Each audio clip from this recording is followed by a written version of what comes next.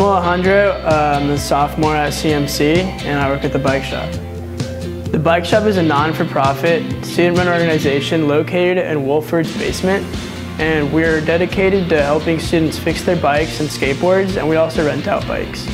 For bike repairs, we can repair your tubes, brakes, your chains, your handlebars, um, your seats, and then for skateboards, we can like fix bearings and clean bearings and even replace trucks.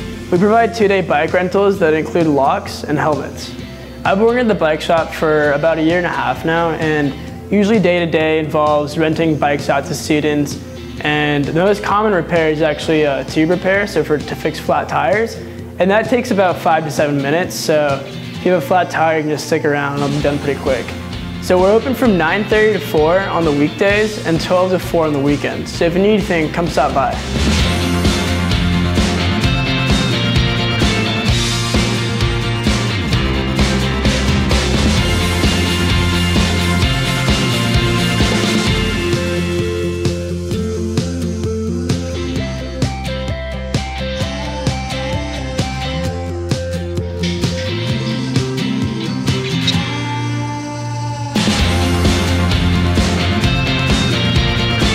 The bike shop is not for profit. Here we fix bikes and we rent out bikes.